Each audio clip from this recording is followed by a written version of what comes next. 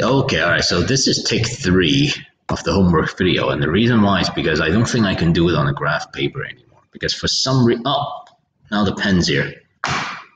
That's great. Okay, all right. Wow, that sucks. All right, so now I'm going to shoot a video and uh, someone's looking at my door and I'm trying to figure out why they're looking at my door.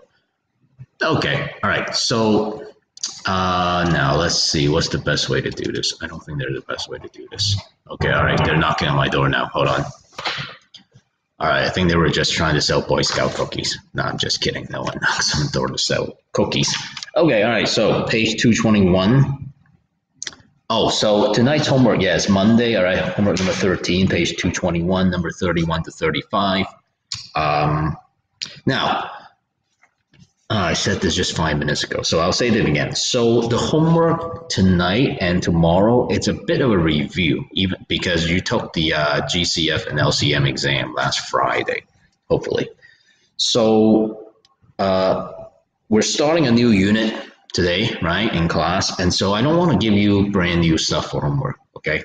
I want to make sure you guys can do the homework. So that's why it's going to be a little bit of a review, but in a way, it doesn't matter because these questions are as relevant as ever, right? Because you're actually going to need to use GCF quite a bit in the next unit. So having said that, let's start with number 31. All right, now I'm actually going to do this. I'm going to attempt to do all these in my head, and I would sincerely hope that you can do that too.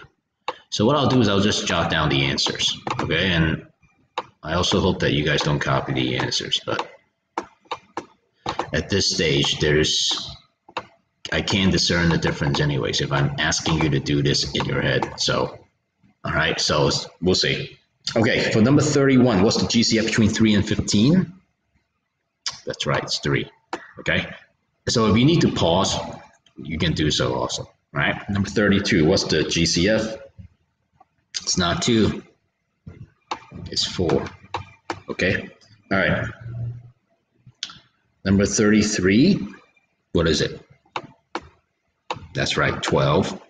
34. That's a good one. Yeah, nothing. It's one. All right. Not nothing, but it's one. Okay. Last one. Now, last one, you're going to ask yourself the question, can 30 go into 500? That's, that's really what the question is. Okay, so can 30 go into 500? Nope. Mm, so it's not 30. Okay, so you can forget that.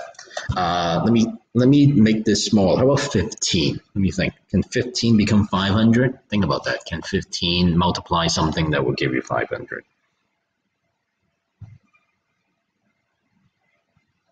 Nope, right? Because 15 times 3 is 45, so that'll be 50 again. Yeah, no good.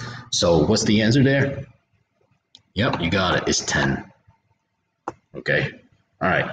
So yeah, that's it. Okay. So thanks for watching. Uh, let me add one more thing actually, since there's time. For something like this, how do you know if your answer is like finished?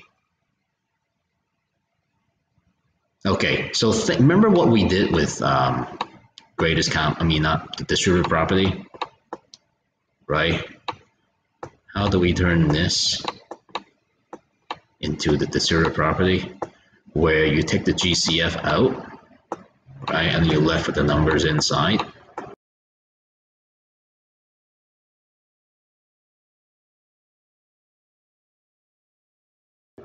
And so the follow-up question is this. Now, 10 times what gives you 30? Right, 3. 10 times what gives you 500? 50. So the question becomes something like this. How do you know that you've used the greatest common factor? How do you know that your answer is the greatest common factor? Yeah, you look at these two numbers inside. If these two numbers, if you can't find another greatest common factor besides 1 for 3 and 50, then you're done. That's how you know, okay? And that, that has implications when we uh, reduce fractions. So, okay, all right, thanks for watching and uh, have a good one. OMG, that was so good.